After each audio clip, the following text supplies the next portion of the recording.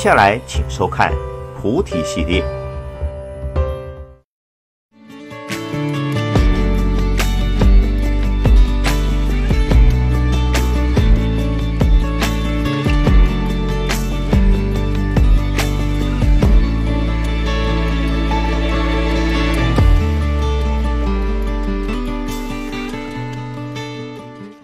南无本师释迦牟尼佛，南无本师释迦牟尼佛，南无本师释迦牟尼佛。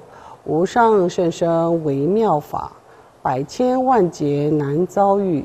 我今见闻得受持，愿解如来真实义。高僧传讲述佛教文学的开拓者，马明大师。马明大师出生在中印度舍卫国阿育陀，今印度北方的邦奥德一个婆罗门的家庭，家学渊源，师承名门，加之本人又聪颖多智、勤奋好学，少年时代便精于吠陀、通释典、文学修养和智慧辩才。都决然不群。马明大师有追求真理的宏愿和救世济人的理想。年轻时误入中门，与佛为敌，多次在论辩中击败佛教的教论师。由于中印佛法的不昌，故一时无人敢与马明交锋。地处西北印度的月氏国。繁荣昌盛，国王迦宁色家护法崇佛，因此该国高僧云集。论师济济，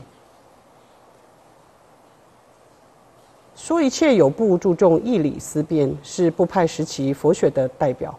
当时主持教务的协尊者得知马明在中印挑战佛门，奋起毁佛，又爱其才智，便与高徒。富那奢一起赴中印，收服马明。马明本具佛性，与学尊者和富那奢多次的论辩，深感佛理深邃，于是舍弃外道，皈依佛门。马明大师的大愿，马明大师晚年回小向大，起信大圣，著论弘扬导利众生，四倍敬福。被尊为功德日。马明大师的大恨，大师擅长诗歌、戏剧，先后创作《赖扎和罗》《舍利佛传》《美烂陀传》，并以佛教的祭乐方式演出，诸有听者莫不开悟。由于诗歌形式所著的《佛所行传》叙事诗，更是开印度佛教文学之。先河在佛教艺术和文学史上做出巨大的贡献，产生深远的影响。马明大师生于公元一二世纪，印度社会国阿育陀人，出生在婆罗门的家庭，家学渊源，师承名门。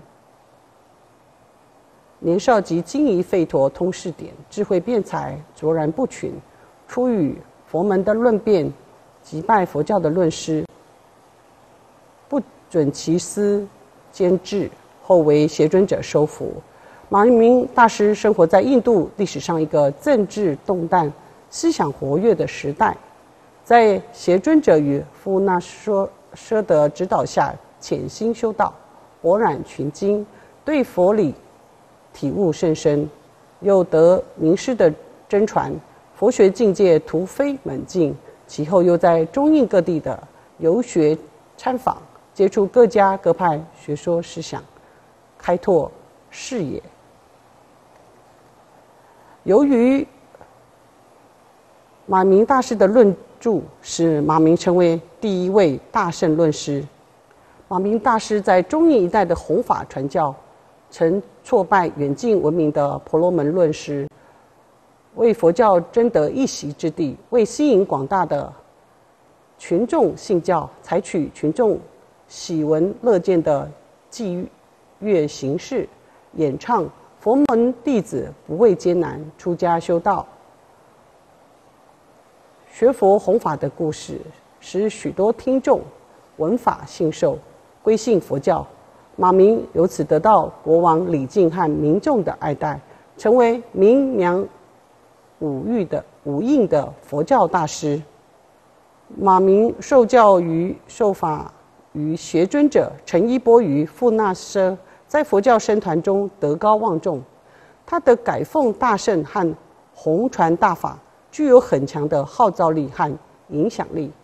正是由于马明的大力弘扬，使大圣佛教在西北印度广开法化，使月氏国成为大圣佛教初显时期的重要弘法中心，结束了佛教历史的小行大隐时期，开辟大主小从的新时代之人，正是马明大师。求真谛与佛结缘。公元九十年三月，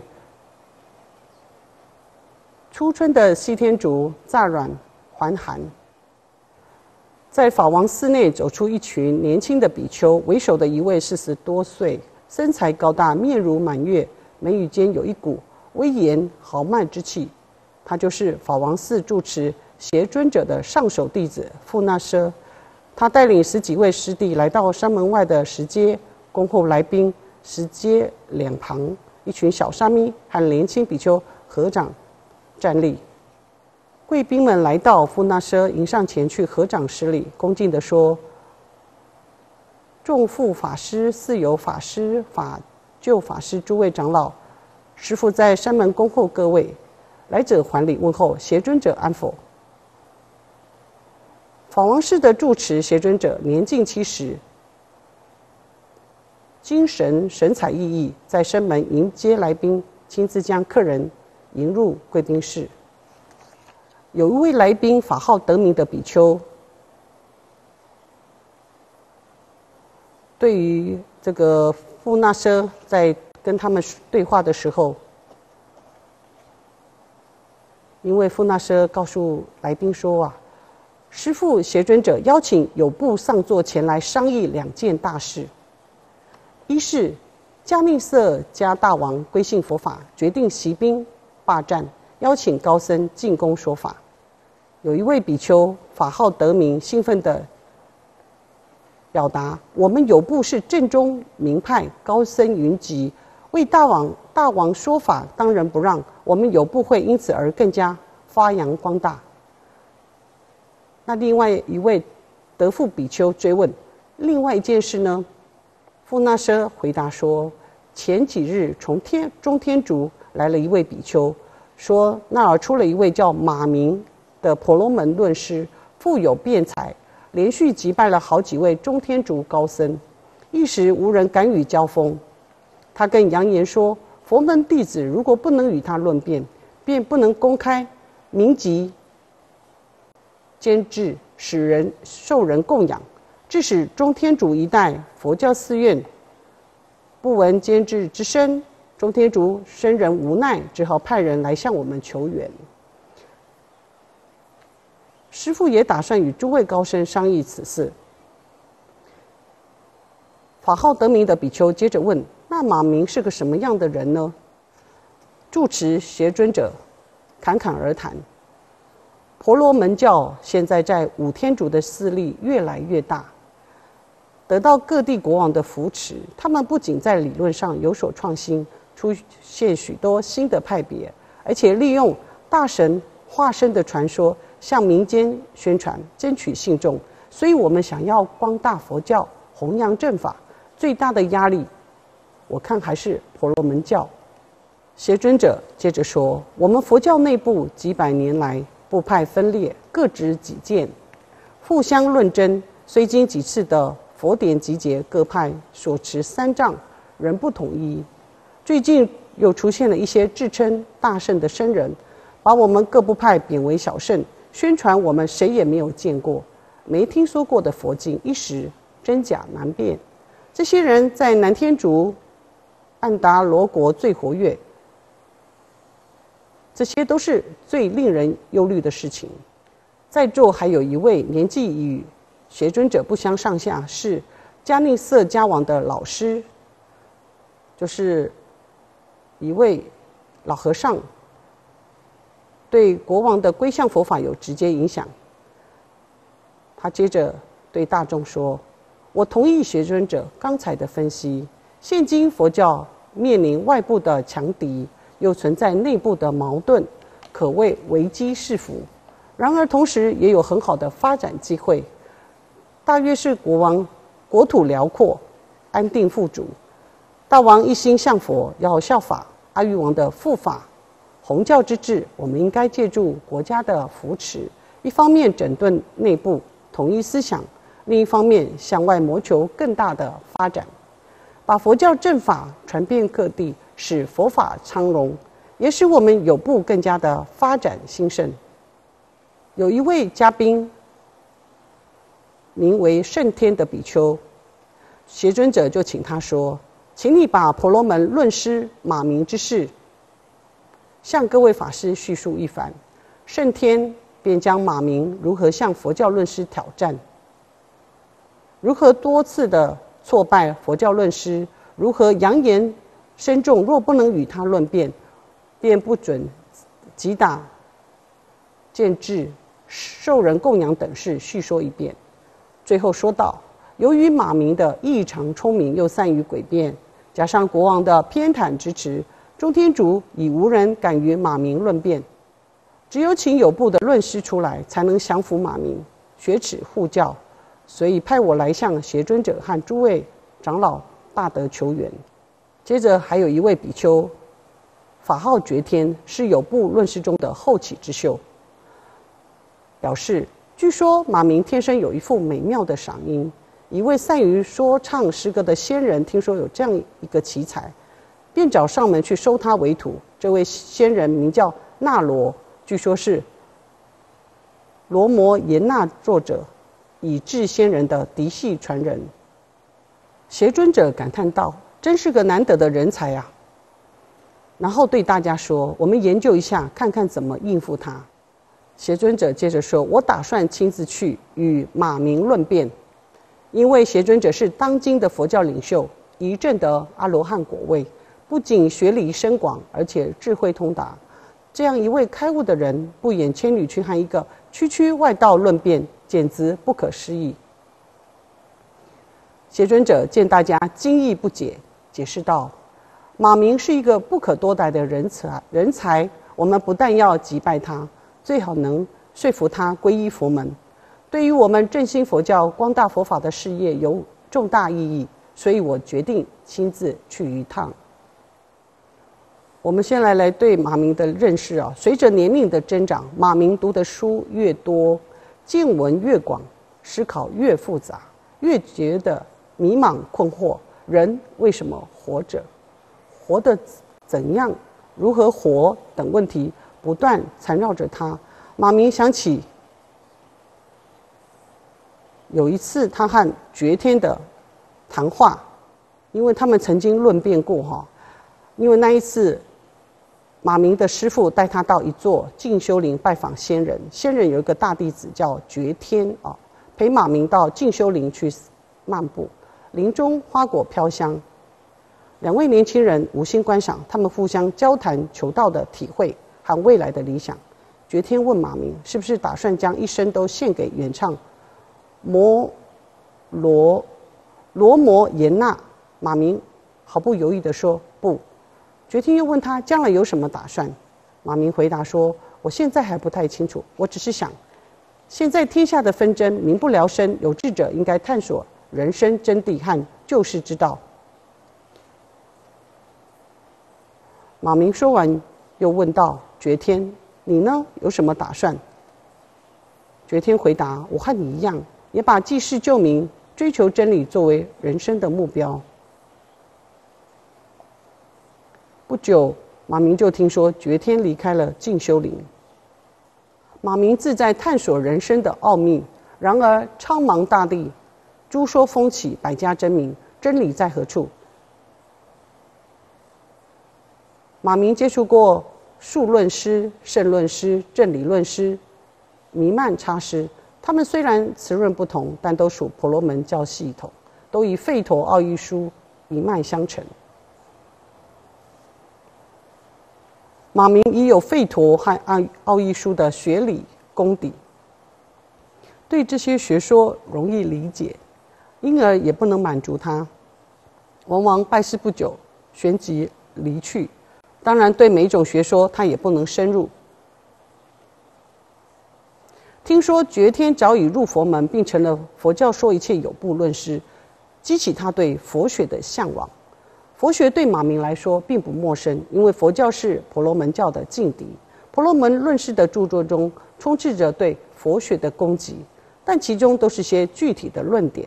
论师们往往攻其一点，不及其余，所以从中很难看到完整的佛学体系。马明自是以博览群书，见多识广，虽有心与佛，却不愿再寻拜师出家、入世求学的一般途径。而是采取了向佛教论师挑战的方式，来探求佛门的生前虚实。中天竺社会城是佛教圣地之一。佛教虽然分成许多部派向外发展，但同时在中天竺都留有弘法的誓愿。马明认为此地必定高僧云集，大师荟萃，便决定首先在此发难。没想到社会城。甚至整个中天竺佛教已经今非昔比。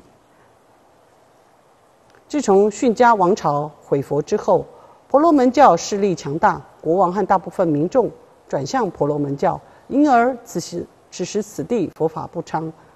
另外，劫后余生和毁而复兴的中天竺佛教各部派比较侧重于禅法仪规和宣传，很少在义理思辨上下功夫。所以马明便轻而易举的论辩获胜。论辩获胜使马明感觉矛盾，他为自己的智慧辩才沾沾自喜，另一方面也感到惋惜，因为那几场论辩他并未探出佛学的深浅。马明为排遣一切一下这个他纷乱的思绪，他走出房房门来到大街上，边走边思索。后来发现自己已经走到城外，不远处传来悠扬的琴琴声，马明不由自主地循声走去。有一道柴门微微地开着，马明轻推柴门走进院子。茅屋中琴声清明高远，意境非凡，灯光随着琴音强弱闪烁不定，增添许多神秘的气氛。一曲弹毕，余音袅袅，只听一个浑厚的声音问道。来者莫非马明？马明答道：“正是在下。既然有缘，何不进屋一叙一叙？”马明推开房门，见一白发老和尚坐在一张简陋的床上。老和尚面容清举，目光炯炯，精神烁烁，有仙风道骨的洒脱。只见他手持一张古琴，案上摆放着一些饭夹。尽管马明绝聪明绝顶，一时也猜不出老和尚的身份。老和尚放下手中的琴，指指屋内仅有的一条凳子，对马明说：“居士，你在猜我的身份吧？”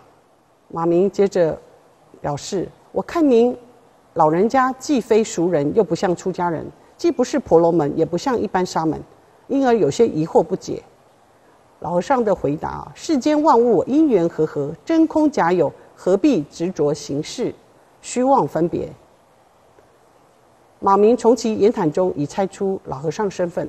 您老人家像是佛家的信徒，为何不出家修道，参禅念佛？只要发菩提心，人间处处是佛堂，行住坐卧皆道场。居士存心向佛，为何又与佛门弟子为难？马明表示：“我欲是佛，只是不知何者即是。”老人家告诉他：“汝欲是佛，不是者是。”马明不解：“佛既不是，焉知是佛？”老人家见马明仍不解，便继续说道：“既不是佛，焉知不是？佛即众生，众生即佛。佛者如来，如来即成真如之道而来。马明听到关键处，不管老人家说完，便急切地问道：“何为真如？”真如即众生心。马明思想洞开，但觉仍然觉是物非物。尽管马明本具佛性，且有大圣的根基，但并既毕竟从未接触过、听说过这样的佛理，只是出于本能的悟性。老人家的话似直指其心，马明似有所悟，一时又说不出来。看着桌上放着的饭夹，随手一翻，见上面大字书写“维摩诘所说经”“妙法莲华经”“楞伽经”等，不仅没见过，也从未听说过，因而问道：“这些都是佛说的经吗？”只听说佛教有四阿含，从来没听说过这些。老人家回答：“居士有所不知，当年释迦牟尼佛涅盘之后，迦摄尊者召集五百声闻，在灵鹫山结集佛典的同时，文殊菩萨、弥勒菩萨和阿难尊者在铁围山结集出数量更多的佛典，这些都是。”大圣佛典。马明问道：“何谓大圣？”所谓大圣，其意有三：一者体大，二者相大，三者用大。老人家见马明一时不能全部理解大圣奥义，便不再往幽深处讲，简单的说道：“大圣也叫菩萨圣，因为大圣行者发菩提心，行菩萨道；小圣追求罗汉果。”大圣追求佛国境界，小圣求自我解脱，大圣则大慈救人，大悲救世。如来为何既说大圣，又说小圣呢？因为众生的根基各有不同。如来方便设教，因机说法，对立根者说大圣，对顿根者说小圣。既然这样，大圣佛法为何长期不传？老人家解。继续开始到机缘未到，因为大圣佛法深妙玄奥，难解难信。数百年来社会动荡，人们只求自我的解脱，乐习小圣，故大圣隐而不显。弟子马明愿跟老师傅修习大圣佛法。马明说着就要跪下拜师，但被老和尚扶住了。且慢，你虽有大圣的根性，但同样是机缘未到。目前佛教还处在小型大隐时期，大圣佛教徒受排挤、打击，各部派尤其势力强大的上座部部派的指责大圣非佛说，将大圣行者看作婆罗门外道。你最近又以婆罗门外道身份击败佛教论师，如果突然成为大圣的僧人，可能会。受人以柄，各部派会群起而攻之。马明双手合十向老和尚请教：“那弟子应该何去何从？”你将有缘成为说一切有部邪尊者的弟子，将来弘法传教，会做出一番惊天动地的事业。那时你再回小向大，结束小型大隐时期，开辟大乘佛教的新时代。老和尚深情地望着马明说：“弟子谨记。”王明问老和尚：“我能不能知道师傅的法号？”老和尚回答：“名字不过是一个假象，万法皆空，名色亦虚，有名无名等无差别。你只需以法为师，以静心为依，定可悟得真谛。你且去吧，好自为之。”老和尚说完，闭目趺坐，进入禅定。马明走出茅屋，只觉心中空空荡荡。老和尚的话，他本来是似懂非懂。走出财院，踏上归途，更觉像做了一场梦，亦真亦幻。唯有一点，他确信不疑，那就是佛法无边，如海洋；深不可测，如天空；高不可看，高不可攀。待他回到他所住的地方，已是夜半时分，弃外道皈依佛门。邪尊者一行三人顾不得欣赏沿路的悠然恬静的自然风光，匆匆忙忙赶路。邪尊者脱去象征上座住持身份的黄色袈裟，换上一件灰黑深衣。富那奢和圣天也都身穿百衲衣，挑着行李跟在邪尊者的身后。他们隐瞒身份，不是张扬，一直为了避开同门的迎请和敌对者的挑战，专心的赶赶路。二者。邪尊长老打算给马明一个突然的袭击，在他不知不觉、毫无防备的情况下突然出现，增加取胜的把握。邪尊者边走边筹划制敌之策。他问圣天：“马明常以什么方式论辩取胜？”圣天想了想，回答说：“在公开论辩时，国王、国后、王后一般都参加。有一次，我方论师讲四圣地。”提人生皆苦的命题，马明便攻击说：“当今国王治理天下，天下太平，国富民丰，如何说苦？国王王后福寿康宁，和睦幸福，何苦之有？”邪尊者赞叹说：“马明倒是个善辩之人。”然后再问我方论师如何回答。圣天愤愤不平地说：“这个问题本来是可以辩清的，但因出其不意，我方论师。”有所踌躇，马明便趁机滔滔不绝，议论风声。因此，国王便判定马明取胜。圣天又讲述有一次的论辩情况：有一次，我方论师提众生平等命题，马明当着国王之语说：“伟大的国王，高贵无比，与那些少接除分的旃陀罗贱民也一样平等吗？”我方论师。怎么说？邪尊者的弟子富那舍问道。圣天回答：“我方论师又有些踌躇。”富那舍不解：“为什么这么害怕国王呢？”以佛理来说明这些问题，国王也可以闻法信受的。圣天解释道：“法师有所不知，国王崇信外道，对佛教本有偏见，而且国王的性格暴躁。”讲得不好，会引来杀身之祸，还有可能殃及佛教。所以论师们遇到这类问题都有所踌躇。富那舍就气愤地说：“所以马明就抓住机会，频频得胜。这哪里是公平的论辩？如何以理服人？”邪尊者分析道：“根据马明的出生经历，并没有时间潜心于某种理论的学说，所以他的理论功底不会太深厚。”论辩时主要靠聪明机智，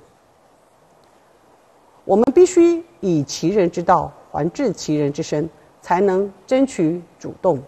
数日后，学尊者一行三人到舍卫国，学尊者让富那奢和圣天前往距舍卫城二十里的伽耶氏见众友，他独自一人以行脚身身份到舍卫城内的一座佛寺挂单。寺院住持的年纪与学尊者相仿。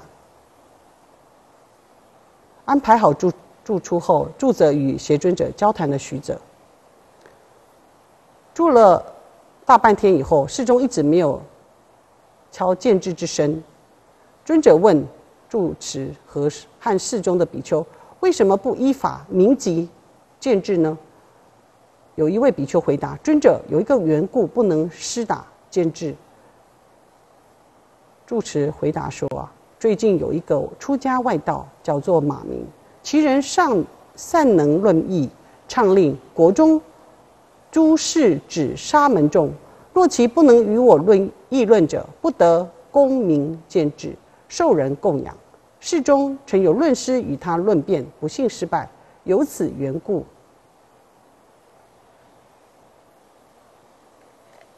所以不能施打见智。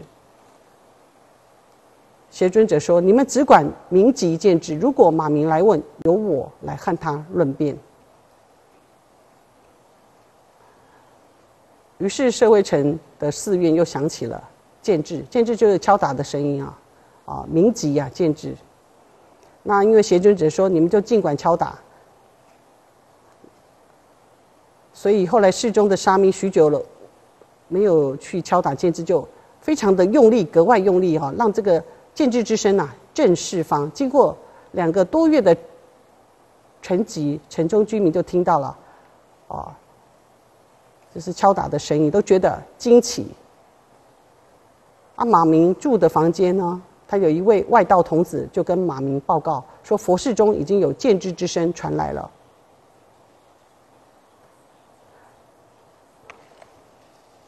马明来到佛寺，就到三门哦，住持相迎。马明就奥秘的问道：“今日何故即达此墓？”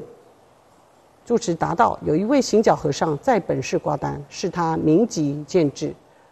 那邪尊者，他和马明啊就见面了。马明根本没把邪尊者放在眼里，不客气的问：“你想与我论议吗？”邪尊者说：“啊，只是依法明即见智。你若有意论辩，自当奉陪。”所以他们后来就约好某一天哈，论辩当天，王宫前的广场啊，聚满了人，人们互相询问着、议论着，是哪里来的老和尚，敢与马明行者辩论？大家议论纷纷啊，只听说是一位行脚僧，在。论辩台哈做了精心的布置，中间是主席台，设有国王、王后、宰相、大臣坐席，两侧是论辩席，相对而设，各有一排桌子、数条凳子，供论师的陪同人员就坐。双方论辩席的前面是主辩的座位。那天马明在寺院与邪尊者见面。一则不屑一顾，二者因天近傍晚，昏暗之中看不清楚。今天在论辩之前，马明就仔细打量玄尊者，发现与他原来的印象大不相同。老和尚的精神奕奕，面容祥和，在大赛即将开始之际，竟从容镇定，意志安泰。他前额隆起，包藏着深邃的智慧，目光如电。显示出射中的威仪，神态超凡脱俗，举手投足皆是具尊贵之相。邪孙者也审视马明，发现马明比初次见面时少了许多傲慢，同时论辩之前的马明也表现得神情自如，不急躁，不慌乱，的确难能可贵。尊者的慧眼是人才，见马明的眼角眉梢。显示出一股灵秀之气，仪态潇洒，神情机敏，因而倍加的喜爱。心想孺子可教，但愿马明与佛有缘，将来学有所成，并能弘扬圣教，光大佛门。国王与王后驾到，论辩开始之前，国王先问双方是否有悔意，是否愿意放弃论辩，双方都回答无悔。然后又问对失败者如何处置？马明回答一如常规。国王说：“那就是割舌哦。如果是论辩输的，就要割舌头啊。”邪尊者说：“不可，我佛慈悲，不忍割舌，只有做皈依弟子，方能显示败者对胜者的心心悦诚服。”国王问马明同意吗？马明说：“悉听随便。”国王接着问：“谁应先说？”邪尊者决定先发制人，便说道。我年纪大，远道而来，且先坐在此，理应先说。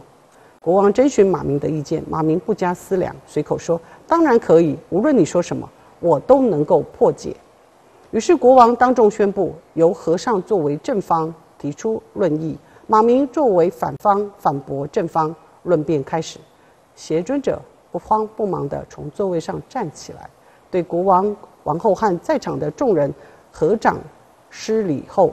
一字一句地说：“我的论点是要令天下太平，大王王后长寿，无有灾祸，人民安居乐业，享受幸福。请反方破解。”邪尊者一言即出，视作结晶。邪尊者在此之前对形势做了周密的分析，对论辩方式做了认真的思考。外调在中天竺势力很大。又得到国王的支持，朝中大臣也都是婆罗门，对手马明非等闲之辈。在这种情况下，尽管佛法深奥玄妙，对那些冥顽不化、不信佛法的外道来说，犹如对牛弹琴。若按部就班的立论、驳论、取胜，并无绝对的把握，必须出奇制胜，掌握先机。马明事先也做了比较充分的准备，对佛教的义理、有部的各种论点都做了大致的了解，以设想好破解的方式，却万万没有想到老上会提出这样的论点，如同两军交战，这边设下埋伏，对方却绕道而行。尽管马明聪明绝顶，一时也难转过弯来，想出破解之策。国王更觉大出意料。他一向偏袒马明，这时也不得不承认，老和尚的确不同寻常。他作为辩论会的主持人，虽然有权对论题提出异议，但对于这样的论题，他一时也不知如何处置。邪尊者这一招可算是一石三鸟。他知道以往的佛教论师败给马明，和国王有很大的关系。将来若要振兴中天竺的佛教，必须得到国王的支持。所以邪尊者的一番话。首先是对国王表示友好，表明佛教是一个以富国安民为宗旨的宗教。其次，对马明来说是以其人之道还治其人之身。第三，诸大臣和众婆罗门尽管不服，但碍于国王的面子，也不敢轻举妄动。尽管马明见过世面，经过场面之事有些定力，且在邪尊者的面前也显得有些慌乱。然而，马明不愿就此服输，他努力地稳住阵脚，尽量地保持镇静。只听他对邪尊者说道：“久闻尊者大名，知道您是佛教界的领袖，是屈指可数的大论师之一。鄙人很想听听尊者关于佛法的论议，为何提出了与佛教无关的论题？”邪尊长老心想：马明果然机敏过人，能如此迅速地从。困境中解脱出来，而且有转守为攻之势。正要发话的时候，身后的富那舍按耐不住，站起身对马明说道：“论法无对，即即对，即堕复处，这是论辩的规矩。你既然不能推翻无师的论点，理应认输拜师。无师所论，正是我们佛教宗旨之一，怎能说与佛教无关？不过料你心中不服。”明明日我再与你论辩一场。我佛慈悲，佛法博大精深，非让你输得心服口服不可。马明此时早已明白富那舍的身份，故意问道：“你是何人？”富那舍说：“我是邪尊者的弟子。”富那舍，尊者亲自与你与你论辩，我觉得是过分抬举你，不如让我来看你论辩。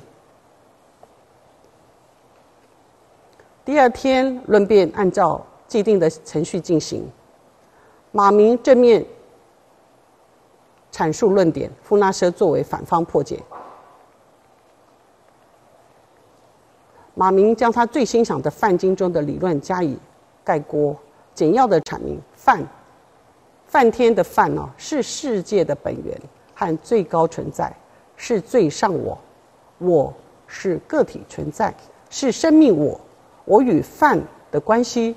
是我，我中有饭，饭中有我，我是饭的部分，饭是我的整体，饭我不一不异。如果我们能够清正这种犯我关系，把我们的个体之中与无所不在、无时不在的饭相融合，我们的灵魂就会获得解脱。马明的阐述，尤其是他富有磁性的声音语调，博得了在场的婆罗门论师和外道信徒的。热烈掌声。富那舍对马明提出的理论观点进行破解。富那舍说道：“刚才对方提出了犯我不依不义的论点，阐述的是犯我关系。虽然谈得头头是道，但其大前提是站不住脚的。实际上，世界上既不存在犯，也不存在我，因为万物都是因缘合合而成，缘聚则生，缘散则灭。”因果相续，并无自性，因此作为个体事物，不存在一个恒久长存的个我。同样，整个世界也不存在一个作为整体我的范。富纳舍破解马明的观点，又正面阐述自己的论点，真正的解脱之道是佛的教说。佛陀释迦牟尼佛怜悯众生，将他所悟得的四圣谛传布世间。四圣谛包括苦、集、灭、道。所谓苦谛，是说众生皆苦，人一生要经过受生、老、病、死、爱别离、怨生会、求不得、五阴炽盛等八苦。所谓极谛。由于是初论，弗那舍提出的都是佛教的基础教理，但他毕竟是邪尊者的上首弟子，有部论师者，有部论师中的后起之秀，同样的理论由他讲出来，便与众不同，言简意明，逻辑严密，条理清楚，扣人心扉。马明也佩服弗纳舍的阐述与众不同。但觉得其理论不过是老生常谈，随便照以前的思路提出驳难。对方讲了佛教中苦集灭道四圣谛，说众生皆苦，世界上确实有许多人遭受苦难，但也不尽然。比如国王、王后快乐幸福，何苦之有？另外，刚才对方还有众生平等之说，这也不实际。事实上，众生之中存在着高低贵贱的差别，尊贵的国王。和扫街除粪的旃陀罗怎么能说平等呢？马明的此类博难，曾经使不少的中天竺高僧落败，所以马明的这些论难一出，场内的婆罗门教的信徒群情振奋，欢呼喝彩，等着看数月前的场面重演。然而，他们所期盼的场面并没有出现。一则富那舍本就义理贤备，学养深厚；二则他是有备而来，对这些敏感的、师傅难以回答的问题毫无顾虑，毫不踌躇地做了答辩。国王、王后幸福和众生皆苦，并不矛盾。虽然国王、王后比一般人幸福得多，但也会有生老病死等人生的苦恼。而且由于民众中存在着苦难，国王作为臣民的保护者，时常会感到忧虑。所以，人生的本质就是烦恼和痛苦。解决这些痛苦，必须依靠佛法。富那舍侃侃而谈，议论风声，接着说道：“国王高贵与众生平等也不矛盾。所谓众生平等，是就人的本本质而言，而不是就现实中的具体个人而论。众生皆由因缘和合而生，并且因业报差别而有轮回。”因而是平等的，人有前生、今生和来生。前生行善立德，今生便高贵幸福；今生造孽作恶，来生变身为下贱，甚至堕入地狱。国王、王后之所以今生幸福高贵，是因为他们前生做了许多的善业，在因缘果报的意义上，众生是平等的。富那舍的论辩很有说服力，国王、王后不仅没有懊恼。恼怒，反而觉得有些话说到他们的心坎，渐渐对佛法有了好感。马明和富那舍根据对方的答辩互相问难，双方你来我往，论辩非常的激烈精彩。听众席上不时爆发出掌声和喝彩声。佛法深邃广大，泛经立论独特。富那舍的逻辑严密，思维清晰；马明机敏善辩，灵感泉涌，真是棋逢对手。降育良才，但富那舍毕竟佛学修修养深厚，对佛学理论的掌握和运用比较得心应手。马明虽在智慧辩才方面略占优势，但理论功底太浅，所以从理论上说，还是佛教一方较具说服力。邪尊者观看了富那舍和马明的论辩，进一步了解了马明，也更加赞赏他的才气。邪尊者看出马明已经信归佛法，但又一时难以转向的矛盾心理。邪尊者决定再次亲自出阵，既要以高深的佛理将其折服，又要动之以情，使其能心悦诚服的皈依佛门。于是约定第二天由邪尊者和马明再次论辩。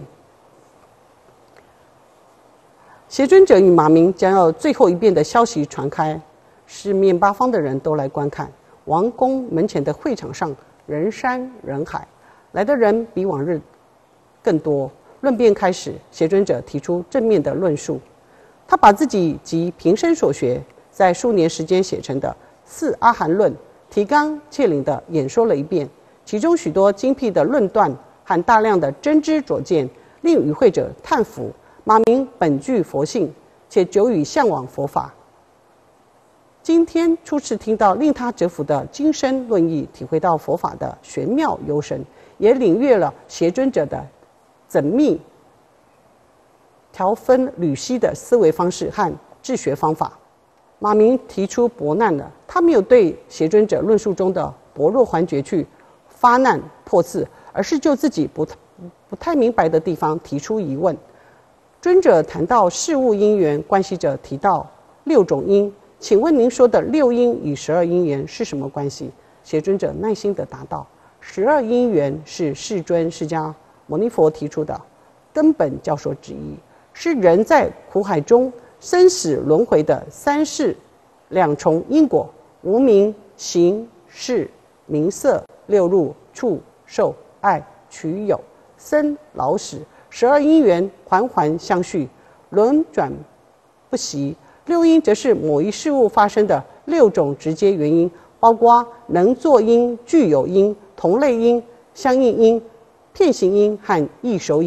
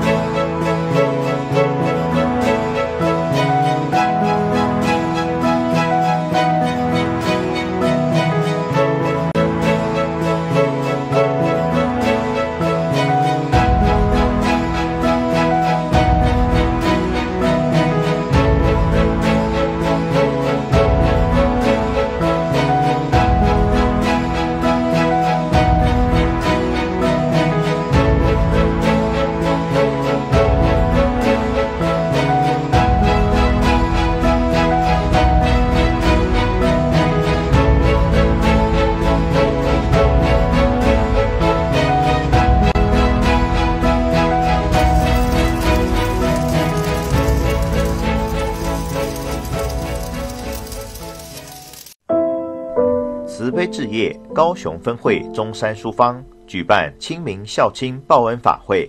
四月一日星期六上午九点，礼拜慈悲三昧水忏，恭请广护法师主法。四月二日星期日上午九点半，三十系念超度暨蒙山施食，恭请慧公法师主法，法务指导法师领众。地点：高雄分会中山书坊，高雄市新兴区中山二路四百七十二号七楼。洽询电话：零七二二一二三二三，零七二二一二三二三。敬邀菩萨参与熏习，同沾法益，共沐佛恩。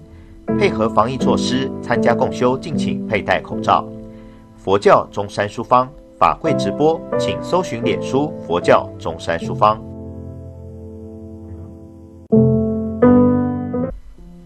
佛教慈悲置业基金会南投分会。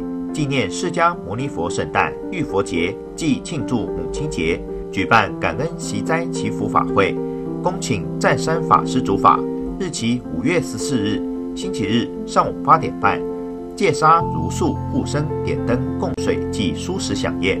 法会地点南投分会，南投县草屯镇中正路二百五十四号之八十六之四。